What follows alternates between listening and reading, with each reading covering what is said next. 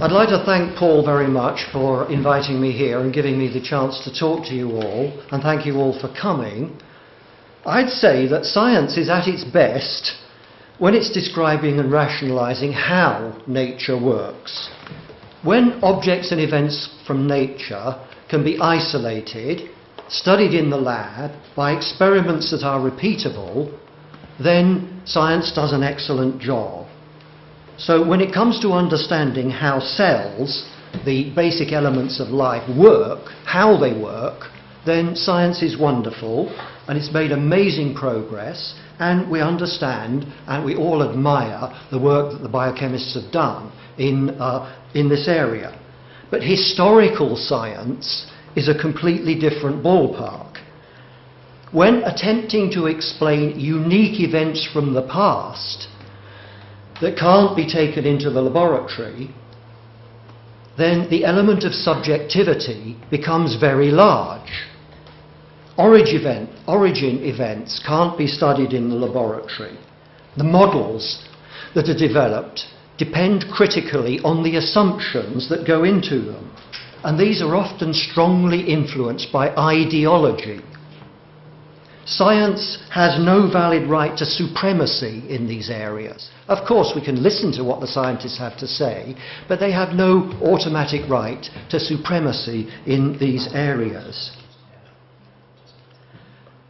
We as individuals, whether we have a scientific training or not, are perfectly entitled to either accept or reject their conclusions in this area. So I think it's a great pity when popular scientists, influential scientists like Richard Dawkins, claim that those who reject the molecules to man scenario are ignorant, stupid, insane, or wicked. I put on that slide where he made that quotate, quotation. Now, many people have picked up on his views and uh, echo his remarks. Now, I'm one who does reject that molecules to man scenario. I do reject it. So you might be mentally sticking Dawkins' label on me, ignorant, stupid, etc., etc.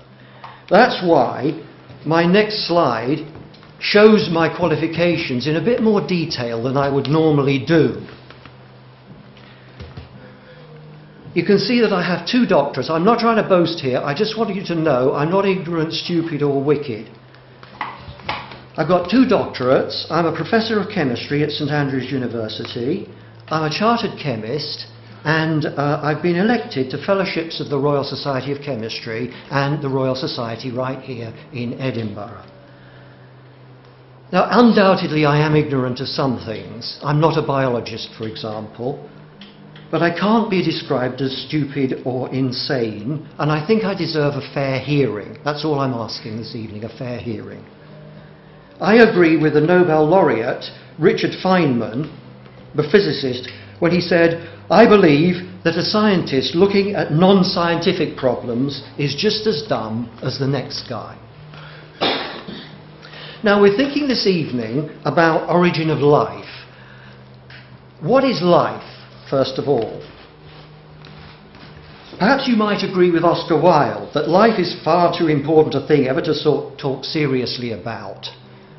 In that case, we're all wasting our time coming here this evening, and I'm wasting my time talking to you.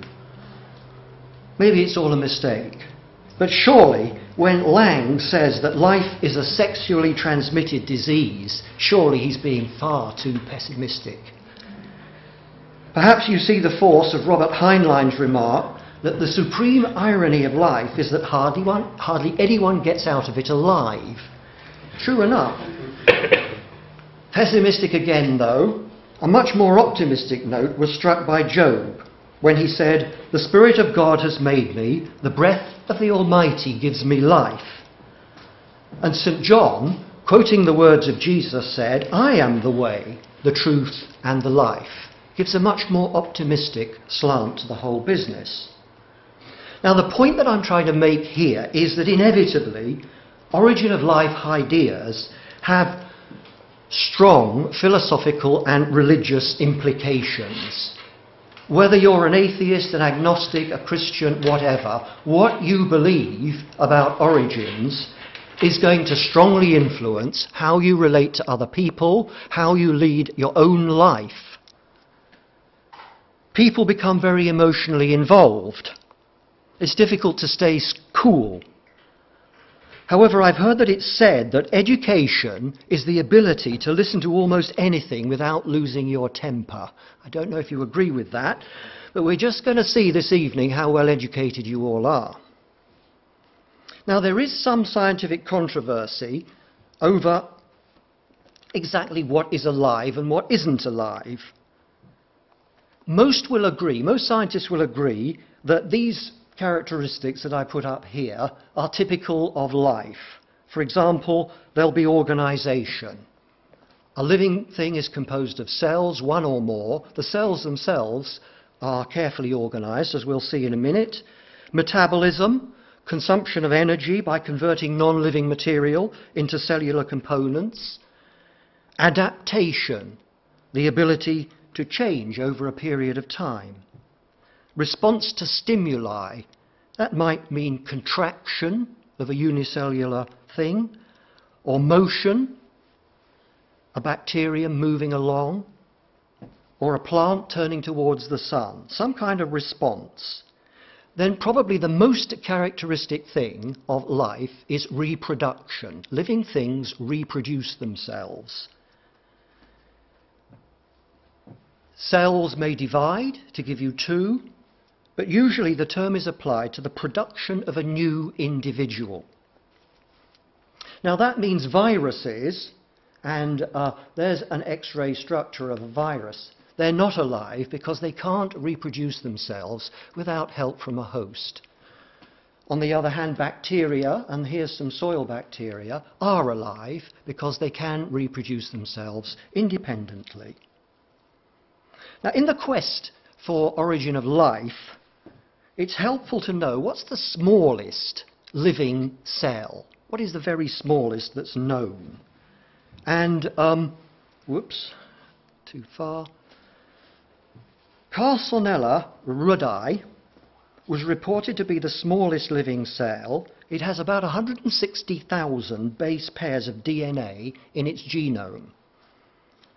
However, this particular bacteria lives inside a leaf munching insect called a psyllid. You can see that psyllid over there. And Carsonella doesn't have quite enough enzymes to survive on its own. So it can't survive and reproduce on its own. So really the smallest living thing is this bacteria, Mycoplasma genitalium. It lives in the genital and respiratory tracts of primates. It's the smallest free living bacterium and it has a genome consisting of about 580,000 base pairs. Now that's quite a lot of base pairs, quite a lot really.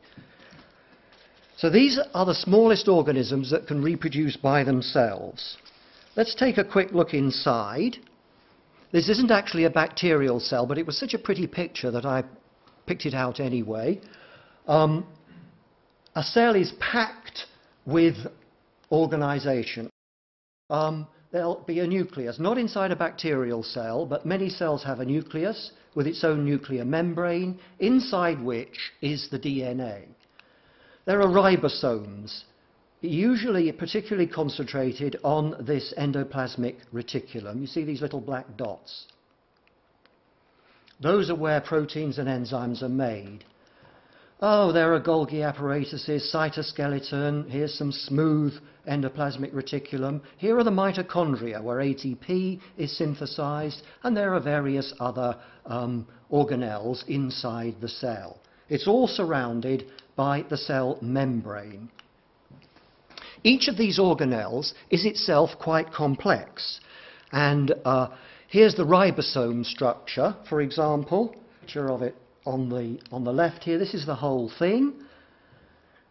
These little sort of worms and wires that you see here are the protein chains together with a lot of DNA. There are two units, and here is the larger left-hand unit here rotating so that you can get a better idea of its structure. So this is the ribosome where proteins and enzymes are synthesized. The cell membrane is quite complex as well. It consists of a lipid bilayer. See, there's an upper layer and a lower layer. There are two pictures here, so here's another artist's impression. Upper layer here, lower layer here. And then there are some proteins. Some of them are just floating in it. Some of them pass right through the membrane. Some of them have channels in them that let ions through, protons or um, other proteins come through. Many of them are topped with carbohydrates that uh, are there to recognize other things that approach the cell. So it's quite a complex structure. Now I want to focus down on four types of large molecules that are key cell components. First there are the lipids, made of fatty acids. Then there are carbohydrates, which are made up of sugars. The two most important ones that I want to focus on are the proteins, which are made up of amino acids, and the nucleic acids, which are made up of nucleotides. So proteins and enzymes, I'm going to use the two terms practically interchangeably, because an enzyme is a type of protein. So most of the important components in the cell, the cell wall itself, all those little organelles that I showed you, almost all of those have their structures based around proteins, carbohydrates, and the information carriers are the nucleic acids. Now, proteins themselves are made from these amino acids. I don't want to blind you with chemistry this evening, so if you're not familiar with chemical structures, don't worry, just relax. There's only one or two things that I want you to pick up on here. I love chemistry myself, so I, I like to use the structures, but don't worry if you're, uh, if you're lost by these kind of pictures. Now these are, there are five amino acids here, Notice they all have this NH2 at one end, NH2, and then they've got this carboxylate group at the other, and then they have a different side chain. There isn't one there, there's this side chain here, this one here, a sulfur side chain here, and an amino side chain here.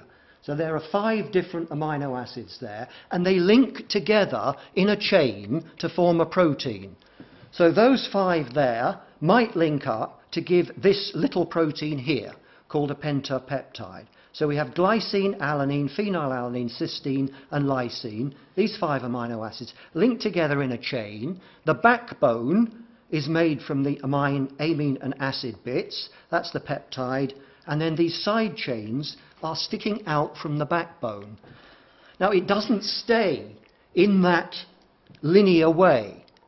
Once it's assembled like that, once the chain is assembled, it folds itself up into a particular shape, like the shape that I showed you a minute ago, or like this one here. This is insulin, which has got 51 amino acids in its chain.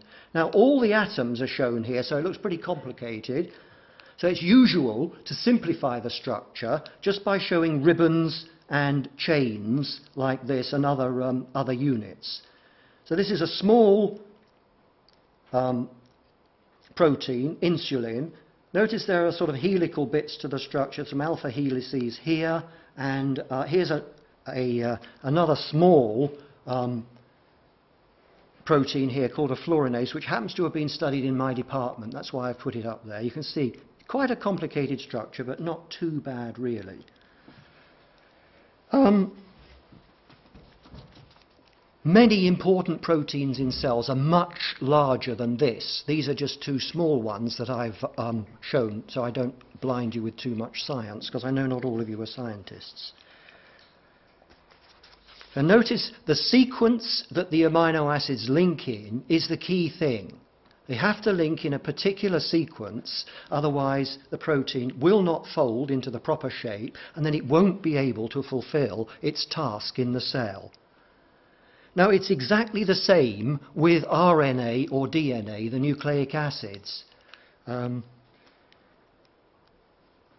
nucleic acids are made of what are called nucleotides. Again, don't worry about the chemistry if you're not familiar with it. Here's a typical nucleotide. It's a sugar and a phosphate, and then there's a base. This particular one is adenine, and there are four bases altogether, adenine, guanine, cytosine, and uracil, which link at that point to give four different nucleotides. And these nucleotides string together, again, in a chain, one after the other.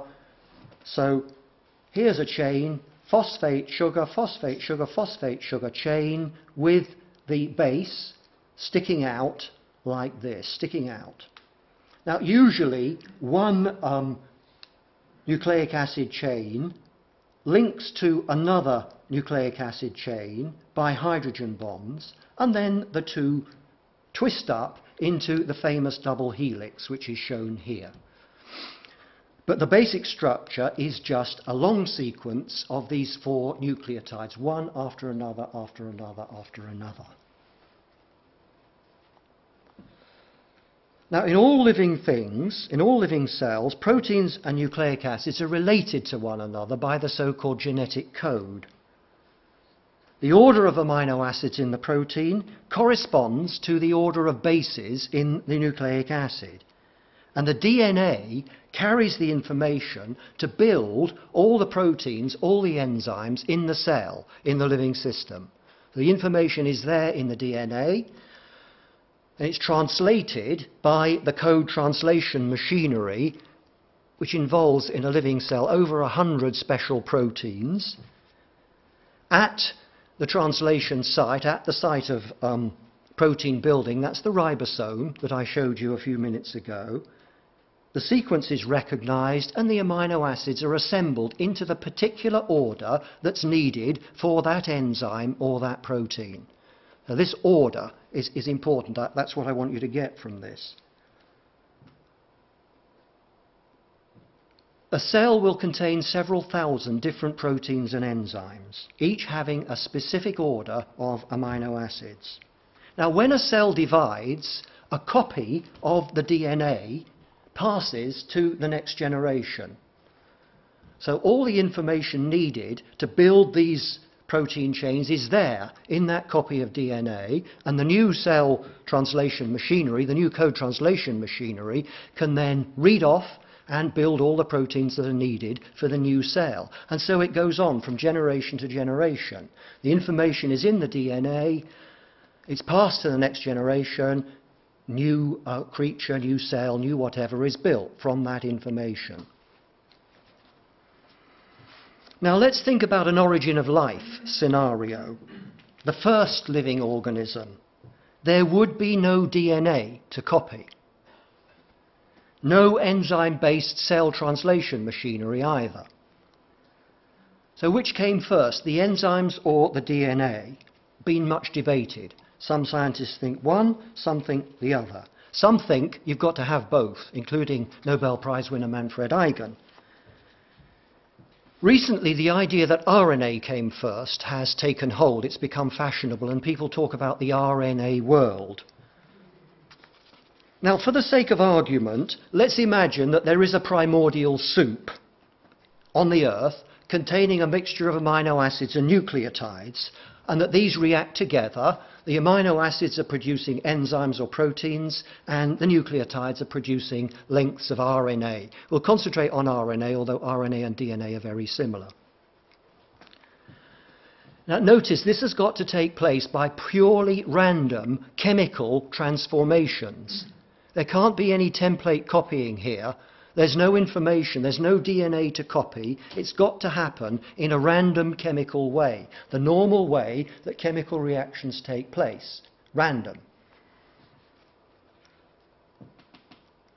How is it that just the right enzymes or just the right RNA fragments could appear, the right ones that could start replication or could start catalyzing the right reaction. How could just the right ones appear?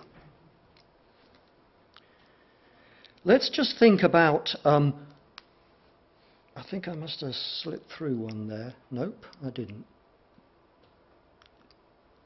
Let's just think about amino acids. We'll start with them. Randomly coupling in the normal chemical way. So we've got three amino acids, say glycine, alanine, and phenylalanine, and they couple together. Now they could couple in this order, glycine, alanine, phenylalanine, or we could have glycine, then the phenylalanine, and then the alanine. Or we could have the alanine first, and then the glycine and phenylalanine, or those two could switch over. Or we could have the phenylalanine first and these two, or the phenylalanine first and those in the reverse order. So there are six possible small uh, chains from three amino acids, six possible chains.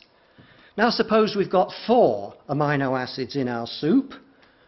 This four, it's easy to show that there are now 24 different chains that could be produced. And in a random chemical mixture, we'd expect all 24 to be formed with equal probability. If there are five amino acids present, random coupling, there are 120 different proton chains. And if coupling really is random, all 120 should be made. It's amazing how rapidly the number of possibilities escalates. Now, I've put on a graph here here's the number of amino acids that are available or, or, that are in the chain, and here is the possible number of sequences. Now, I talked about uh, 3, 4, and 5, but when you get to 8 amino acids in a chain, already the number of possible chains is nearly 50,000 possible chains. That's quite a large number. And uh, when you reach 10 amino acids in the chain, selected from the 22 amino acids that take part in biological processes, then uh, the number of possible chains zooms up to 10 to the power 13. And uh, if you have 100 amino acids in the chain, or 250 in the chain, and this is sort of a typical length for a, a normal cell protein, then the number of possible sequences that could be formed in a random chemical system is 10 to the power 130, or for 250, 10 to the power 325. Um, if you had a thousand in the chain, and that's by no means a, a huge protein, it would be 10 to the power 1301. Now, um, these are very big numbers, uh, enormously big numbers. Um, the chance of forming the right protein, that's a protein that can do a specific job that's needed to start replication going, reproduction going, needed to start the origin of life process, the chance of finding one 100 amino acids long is one chance in 10 to the 130. Now, to put this in context, if you count up all the atoms in the entire known universe, now I'm talking here about all the planets, all the stars, all the solar systems, all the galaxies, all the clusters of galaxies, all the superclusters of galaxies, the entire known universe, count up all the atoms, you get a number somewhere between 10 to the power 80 and 10 to the power 100.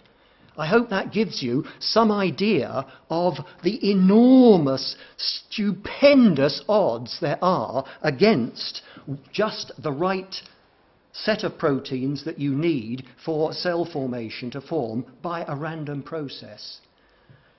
Um, what's your chance of winning the lottery? Maybe one in a million, maybe one in 10, uh, sorry, one in 10 in a billion, or maybe one in 10 billion, something like that. That's um, one in about 10 to the power 9 or 10 to the power 10, somewhere like that. Now, people are willing to stake their earnings on those sort of odds, but um, are you willing to really bet your belief system on odds of that sort of magnitude, 1 in 10 to the power 130? Now, the situation is very similar to this when it comes to nucleic acids or, or RNA, the RNA world.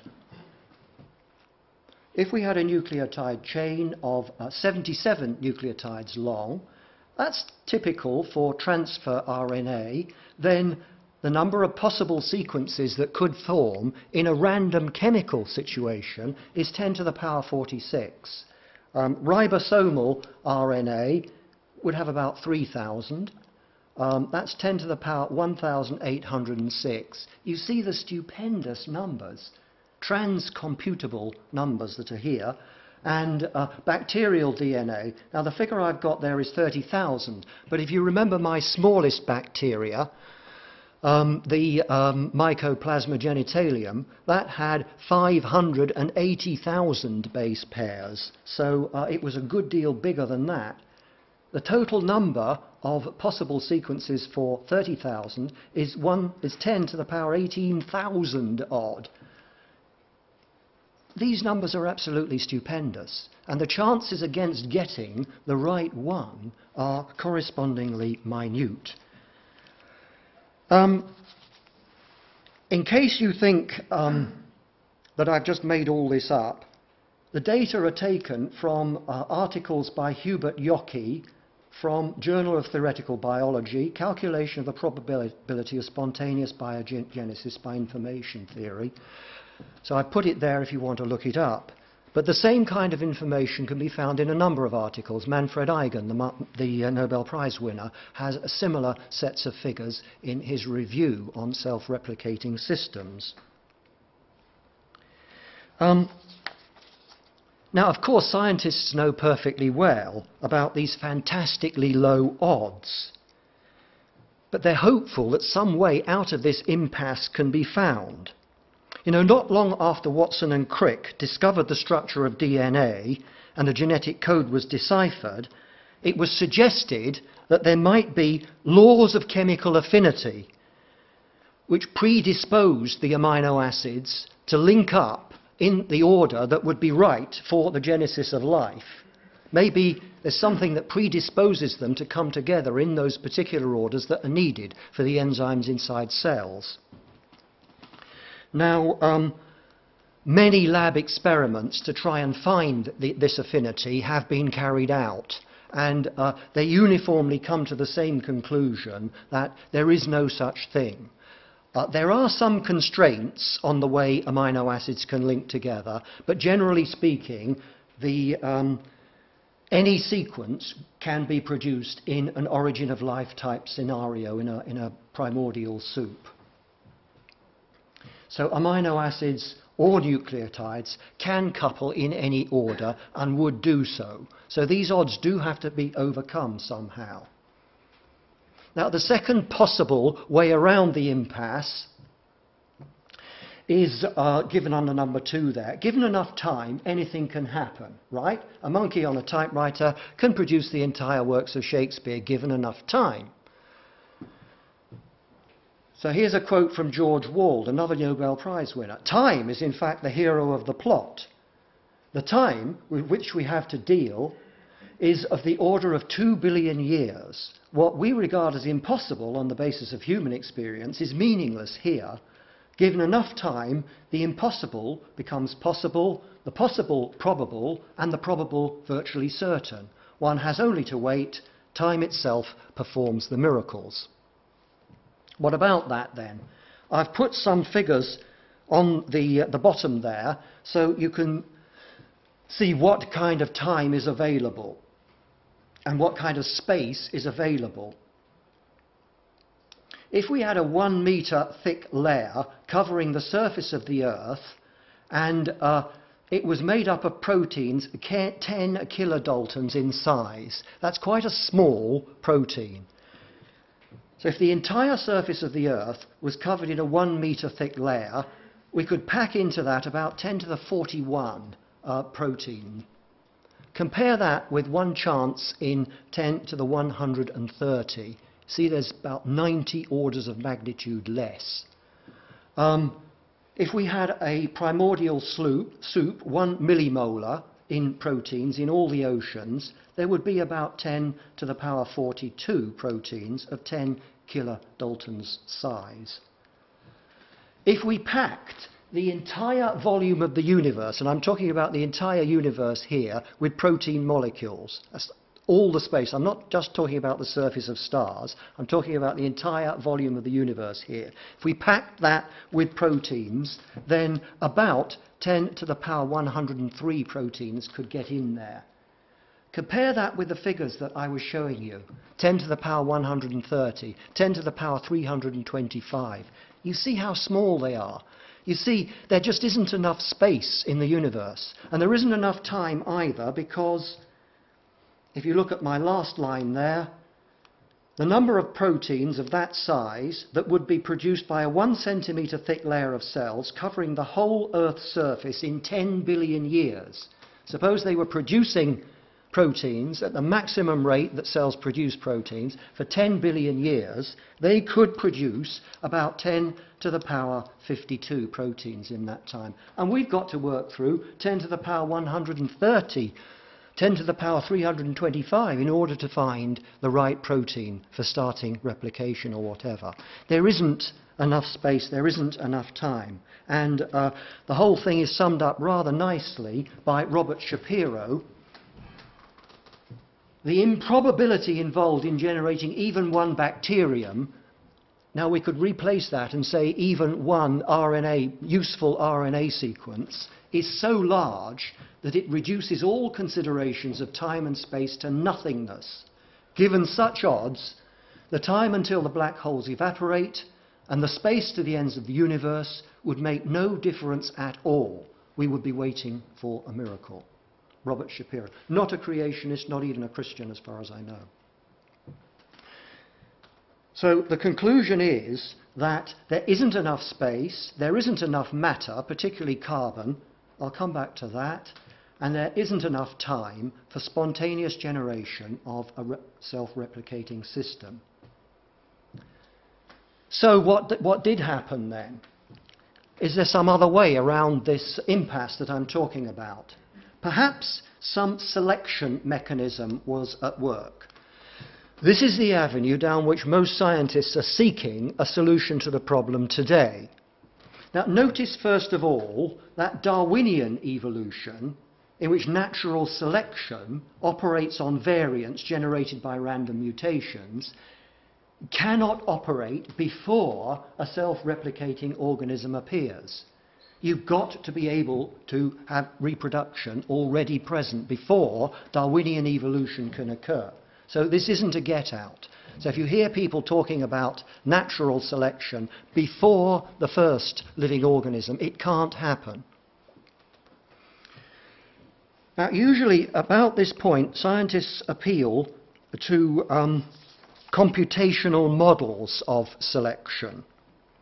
And uh, the most famous of these is Dawkins' so-called WEASEL program.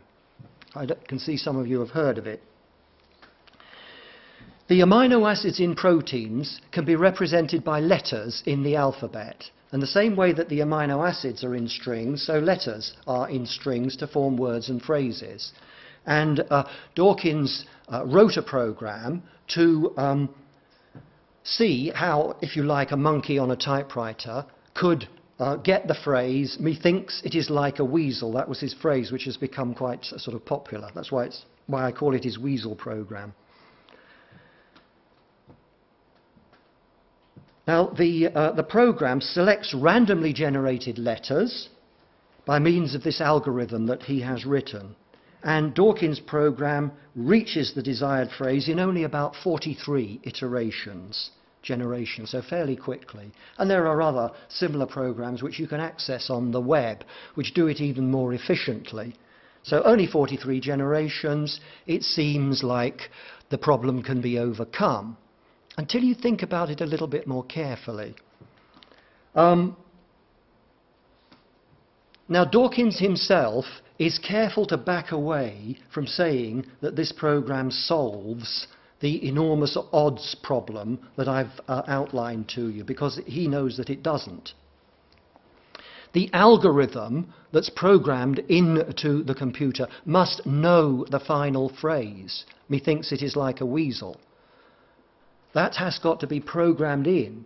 Then the algorithm compares the letters as they are selected, one after another. It compares the little phrases with this final phrase. Methinks it is like a, a weasel. And the closer they are to the final phrase, uh, the more, more selected they are. Now, of course, in a random chemical mixture, there's no way of knowing the final structure. If you know the final structure, then your problem's already solved. He's already, he's already uh, selected the answer. Yes. Not in a random, not in a random chemical selection process. not before Darwinian evolution can take place. It can take place once living, living things are there, and Darwinian evolution can take over, but not in a random chemical situation, as for an origin of life scenario. Um, so intelligent design has to be put into the program to know the phrase in the same way you would have to know what RNA sequence was the effective one for this kind of selection to take place. Furthermore, you've got to have a selector. A selector is built into the program. It selects the letters as they're produced and compartmentalizes them, stores them, and then when another useful letter comes along, it adds it to the phrase. Again, there are no such systems in random chemical situation. They don't exist before the uh, advent of cells. Now, in spite of what I said, there are many scientists believe that such selection mechanisms will eventually be discovered. They're living in the hopes that such selection mechanisms will be discovered eventually. To me, these computer programs are evidence that it takes design, intelligent input, to overcome the stupendous odds. I want to ask you a question. How gullible do you think you are? I was amused to read of a student at um, Eagle Rock Junior High School, and he won first prize at a science fair. Just to um, illustrate, his project illustrated how conditioned we've become to junk science. And in his project, he urged people to sign a petition asking for a ban on the chemical dihydrogen monoxide. And he told them that it can cause excessive sweating and vomiting. It's a major component of acid rain. It can cause severe burns in the gaseous state. Accidental inhalation can kill you. It contributes to erosion. It decreases the effectiveness of car. And, here's the clincher, it's been found in tumours of terminal cancer patients. Now, he asked 50 people, and 43 of them supported the idea of a ban on um, dihydrogen monoxide. Six people were undecided. One person knew that this chemical was water. I can hear there's, there's some there in the, in the audience. Water. Of course, water causes sweating, or is present in sweating. Of course, it's a component of acid rain. Of course, it, steam can burn you, and uh, so on and so forth we've become conditioned to junk science. But don't just accept the ideas that come at you from the junk scientists. You need to think everything through quite carefully. There's nothing out there that I'm aware of at the moment that uh, solves the problem of how the information needed for self replication originated. There's a lot of research going on into chemical replicators. But these models lack the complexity that are needed for a living system. And as they get more sophisticated, so they simply show the need for intelligence, human intelligence in this case, in order to design uh, such systems. In the last couple of decades, attention has switched to what I called the RNA world a minute ago. Certain RNA molecules have catalytic properties so they can act a bit like enzymes, but they can also carry information. So it seemed reasonable that ancient RNA molecules might have acted as the starting point for the origin of life. Now, the RNA world depends on there being an abundance of nucleotides available so that they could combine together and form some particular RNA strand that would get the whole process going. Now, nucleotides are made of um, the four bases, well, they're distinguished by the four bases that I showed you a few minutes ago. We imagine some sort of primordial soup. It doesn't have to be a soup, but let's imagine a primordial soup. It would have to be under an atmosphere containing no oxygen. If there's any oxygen in the atmosphere, then uh, degradative processes oxidative degradation takes place very rapidly. Nucleotides degrade, almost all organic chemicals degrade very rapidly on a geological timescale. Most textbooks simply state that the original atmosphere must have been reducing, or at least neutral. Perhaps it was CO2. But how reasonable is this? On this slide, I've shown the abundances of the elements in the Earth's crust. Now, notice one thing. So here's the element across here, and here's the abundance as a percentage of the Earth's crust. Here's oxygen, and notice it's 47% of the Earth's crust. Nearly 50% of the Earth's crust, that's the solid surface of the Earth, is oxygen. Almost all rocks are oxides of metals. Silicon, aluminium, iron, calcium, etc. They're all, or large proportion of them, are oxides.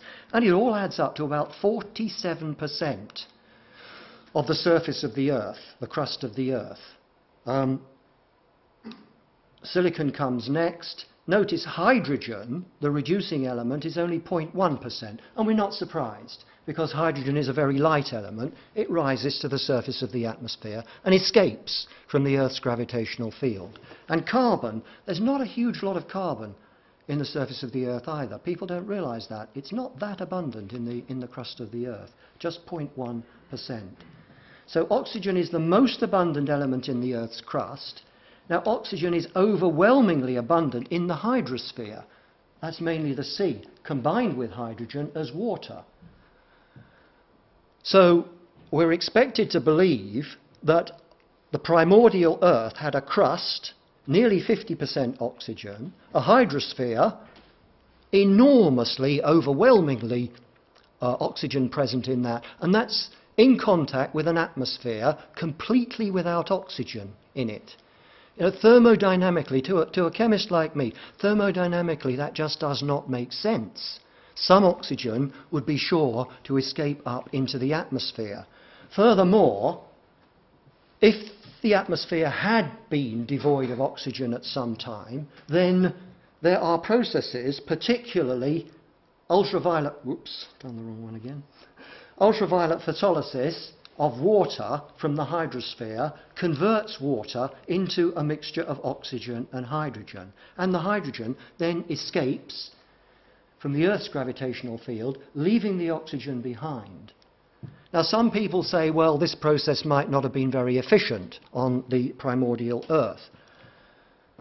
Direct observations from the Moon during the Apollo 16 mission revealed that substantial amounts of hydrogen are leaving the Earth's atmosphere as a result of photochemical dissociation of water. So it's going on now. Um, furthermore, um, the moons of Jupiter, Europa and Ganymede, they're known to have surface water. Now it's frozen, it's ice, but there'll be a little bit of water vapour in the atmosphere. And sure enough, uh, the atmospheres have been shown to have oxygen in them for both Europa and Ganymede. Recently, it's found that the rings of Saturn, they're largely composed of ice particles, and again, uh, photolysis of the water gives off oxygen, and it was recently discovered just this year that the rings of Saturn have an oxygen atmosphere uh, surrounding them. So even if the water is in the form of ice, it's still enough for the photochemical process to produce oxygen in the atmosphere. To my mind, it seems far more likely that the Earth's atmosphere has always contained a substantial amount of oxygen. Now, what about the uh, geological evidence then? Many textbooks state that uh, there are reduced rocks in the early Precambrian, or in the Precambrian, which are the earliest crustal rocks, uh, which show that the atmosphere was reducing, and they point, for example, to the uh, banded iron formations. Here's a banded iron formation in Australia. These are quite common in Precambrian, but they, occur, they occur in rocks of almost all geological ages. Not all geologists, by any means, accept this explanation because uh, deep waters in oceans and lakes are often very low in oxygen or oxygen free. So many geologists simply consider that these formations were laid down under deep waters where there was very little oxygen. If the atmosphere was reducing, or mainly carbon dioxide, we would expect the minerals that were laid down in Precambrian times to be significantly different from those that we see today. They wouldn't be all metal oxides, as I was telling you a minute ago. In fact, and I'm quoting from various geology textbooks here, Precambrian sedimentary and igneous rocks are lithologically rather similar to younger ones. So they have similar kinds of minerals and the chemical compositions are rather similar. Now, weathering is a process that depends critically on the atmosphere. The extent of water in the atmosphere, the extent of oxygen in the atmosphere. If there was no oxygen in the atmosphere, weathering would take place in a completely different way. Mainly, weathering produces clays nowadays. Here's a bit of clay here. Yet clays are just as abundant in the Precambrian as in earlier rocks.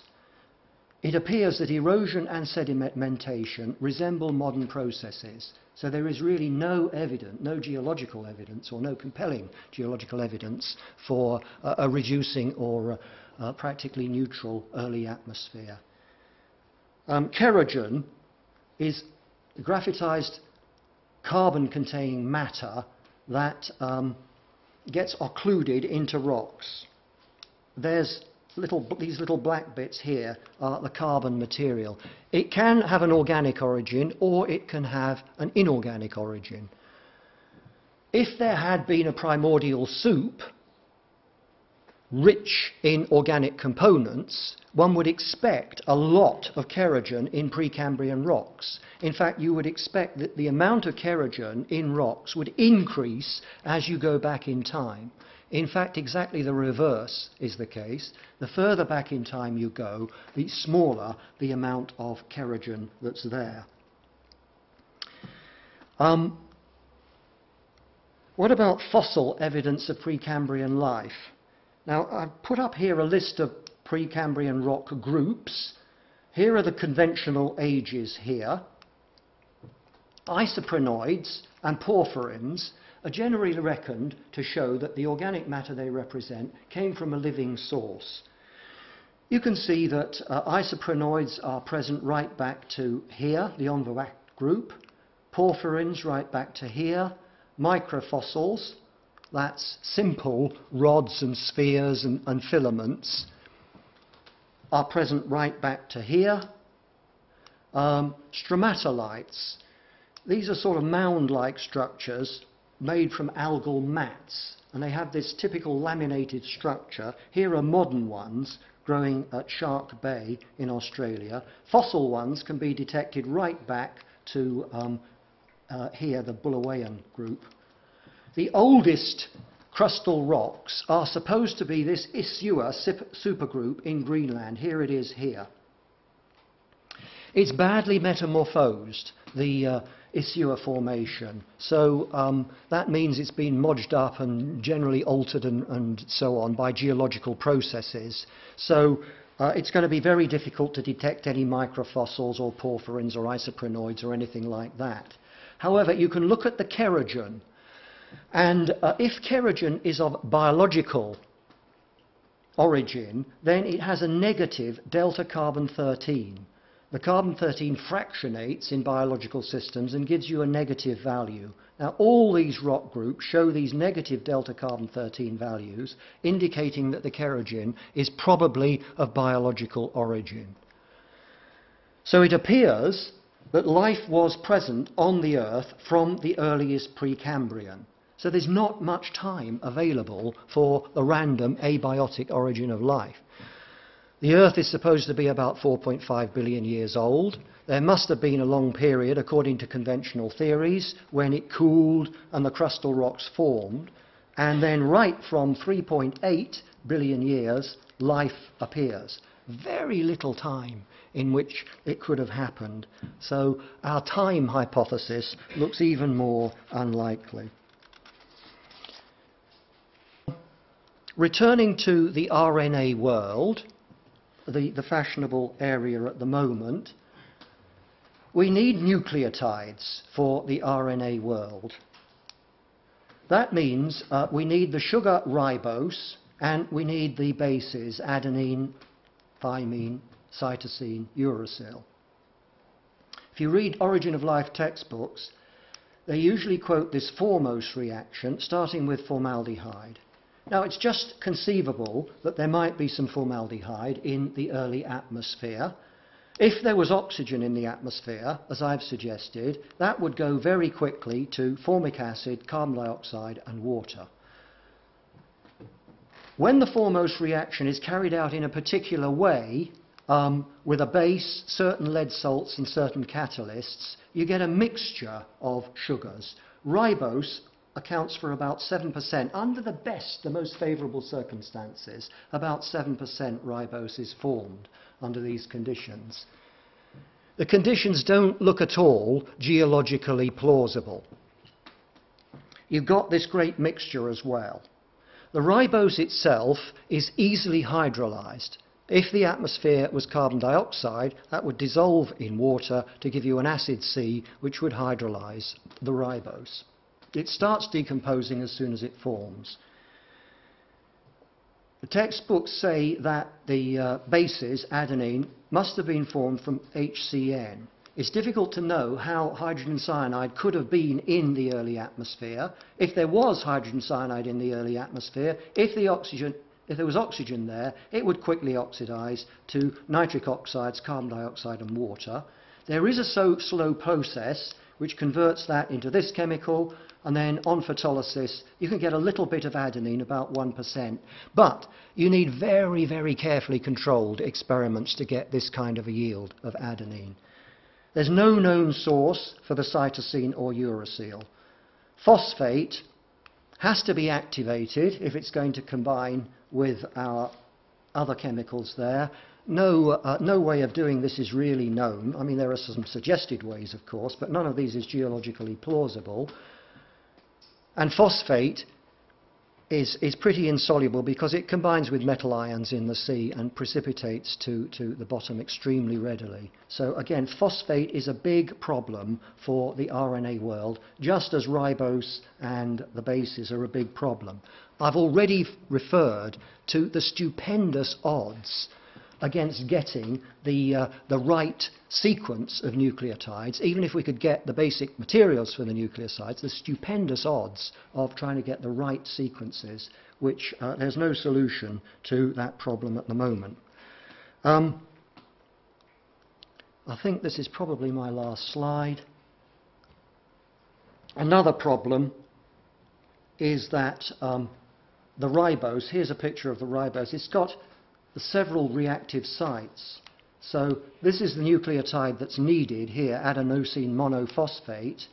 To get that, the base has to react here. But there's nothing to stop it reacting here, or here, or here. And in a random chemical situation, it would react in all four places, giving a complex mixture.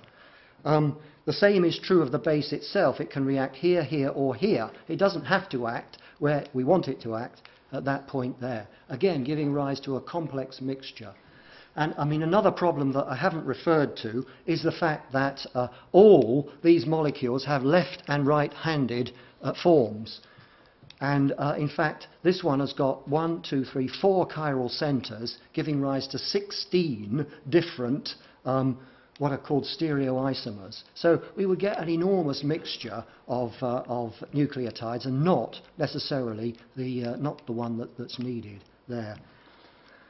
Very difficult problems to solve. You can prepare nucleotides in the lab. It's the chemist, highly intelligent. Application of, of um, intelligent scientific know-how you can overcome these problems that I've shown here and make these things, although of course they start degrading almost immediately and have to be stored under carefully controlled conditions. Once again, to me, this is evidence that intelligent design is needed in order to, uh, in order to get round these problems in the start of the origin of life. Now, what are, what are the conclusions then? Statistically, the chance of forming even one useful RNA sequence can be shown to be essentially zero in the lifetime of the Earth. The complexity of the first self-replicating system and the information needed to build it imply intelligent design. Hope of beating the colossal odds against random formation of replicating RNA is based on ideology rather than science.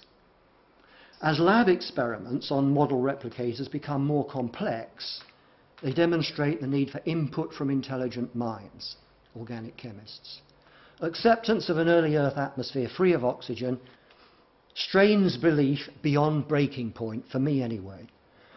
No chemically or geologically plausible routes to nucleotides or RNA strands have been developed. Geological fieldwork shows no support for a prebiotic soup. It favours little change in the atmosphere over time. Living things have been present since the first crustal rocks. We've had more than 50 years of sterile origin of life research. It's in time now to give intelligent design a fair hearing. Thank you all very much.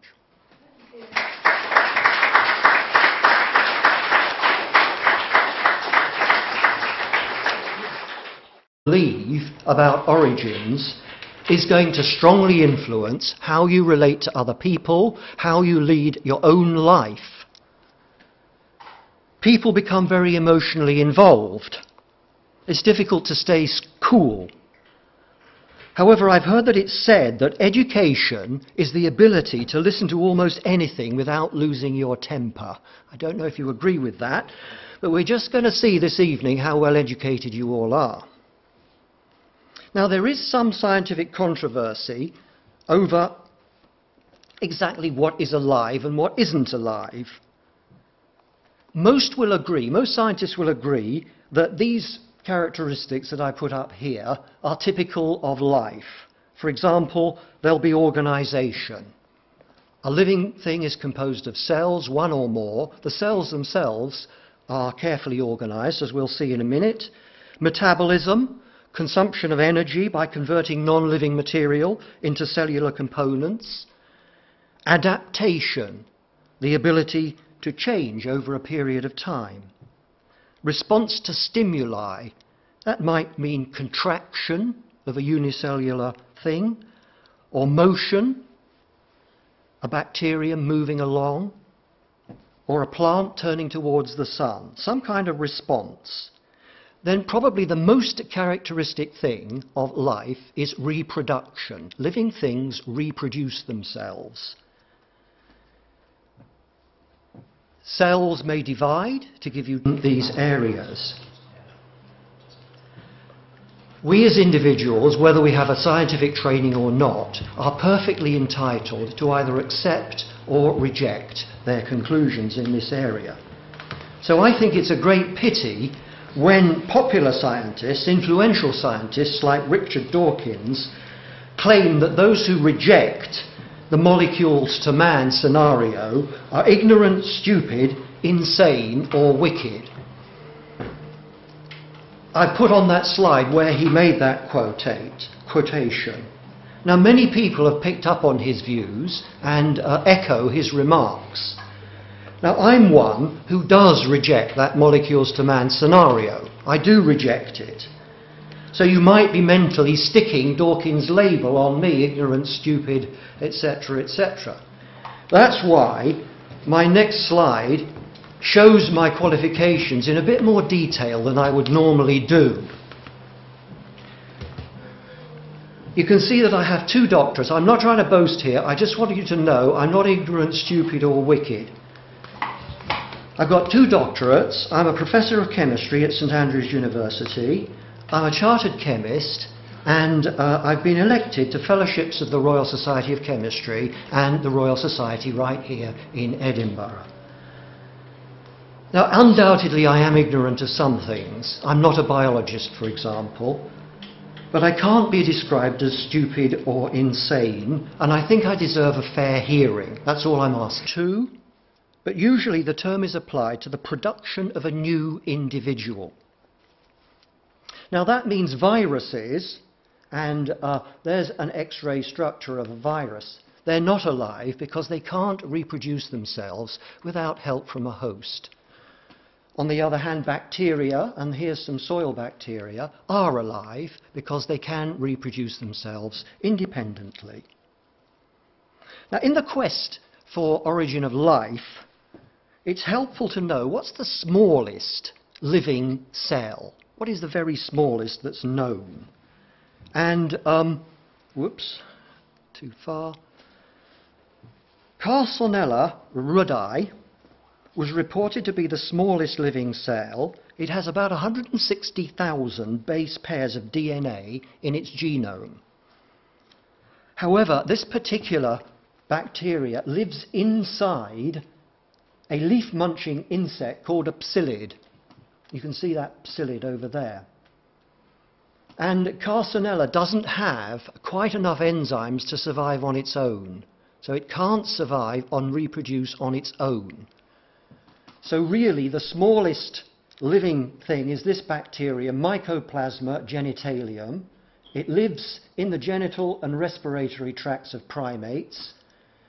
It's the smallest free living bacterium and it has a genome consisting of about 580,000 base pairs. Now that's quite a lot of base pairs, quite a lot really, in this evening, a fair hearing. I agree with the Nobel laureate Richard Feynman, the physicist, when he said, I believe that a scientist looking at non scientific problems is just as dumb as the next guy. Now, we're thinking this evening about origin of life. What is life, first of all? Perhaps you might agree with Oscar Wilde that life is far too important a thing ever to sort, talk seriously about. In that case, we're all wasting our time coming here this evening, and I'm wasting my time talking to you. Maybe it's all a mistake. But surely, when Laing says that life is a sexually transmitted disease, surely he's being far too pessimistic. Perhaps you see the force of Robert Heinlein's remark that the supreme irony of life is that hardly, one, hardly anyone gets out of it alive. True enough. Pessimistic again, though, a much more optimistic note was struck by Job when he said, The Spirit of God has made me, the breath of the Almighty gives me life. And St. John, quoting the words of Jesus, said, I am the way, the truth, and the life gives a much more optimistic slant to the whole business. Now, the point that I'm trying to make here is that inevitably, origin of life ideas have strong philosophical and religious implications. Whether you're an atheist, an agnostic, a Christian, whatever, what you believe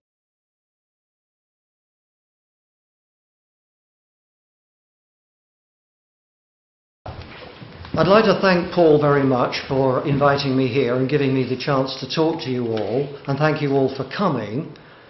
I'd say that science is at its best when it's describing and rationalizing how nature works. When objects and events from nature can be isolated, studied in the lab by experiments that are repeatable, then science does an excellent job. So when it comes to understanding how cells, the basic elements of life, work, how they work, then science is wonderful and it's made amazing progress and we understand and we all admire the work that the biochemists have done in, uh, in this area. But historical science is a completely different ballpark. When attempting to explain unique events from the past, that can't be taken into the laboratory, then the element of subjectivity becomes very large. Origin, event, origin events can't be studied in the laboratory. The models that are developed depend critically on the assumptions that go into them. And these are often strongly influenced by ideology. Science has no valid right to supremacy in these areas. Of course, we can listen to what the scientists have to say, but they have no automatic right to supremacy in